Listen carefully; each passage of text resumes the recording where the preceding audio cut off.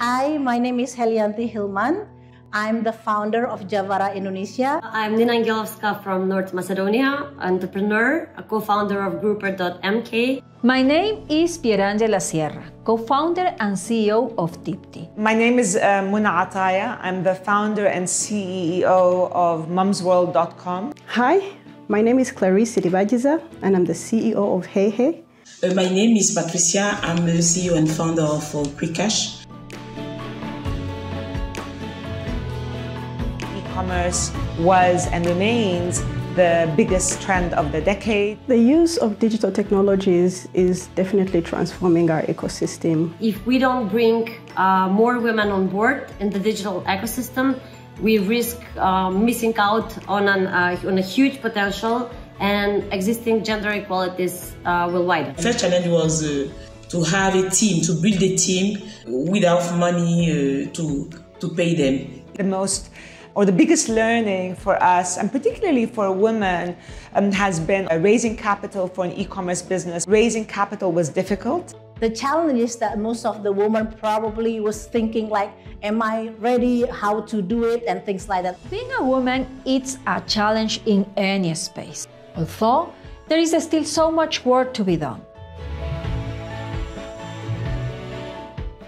For us to have more women in the digital space, uh, we really need to start early. When uh, other women uh, see the success stories of other uh, women in the ecosystem, they get courage, uh, they get confidence that they too can go down that path of entrepreneurship. We need to start uh, when the girls are young and build the right kind of environment, ecosystem around them to encourage them to pursue whatever dreams, whatever ambitions that they have. We need to challenge the digital stereotypes if we want to see more women in uh, digital, in tech, in entrepreneurship. Coaching and mentoring is one of the um, elements that is needed to break the barrier. We need to let women know they can succeed in any field they set their minds to.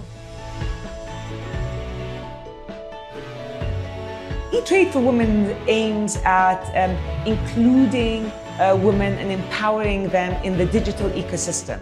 And E-Trade for Women advocacy gives me an opportunity to play a role in helping the next generation of women that are looking to get into business, get into technology, leverage the digital economy uh, to make a difference uh, for themselves and for their communities. I hope to encourage and inspire as many women to use their potential. I wanted to set out an example that even the women in business that are not in the technology space or technology business itself can take so much benefit uh, in the e-trade and how e-trade can democratize our opportunity to grow. Being part of this initiative brings a greater responsibility. Uh, the, the, being an advocate and actually means to be able to empower, inspire, to connect, and to give a voice to other uh, women.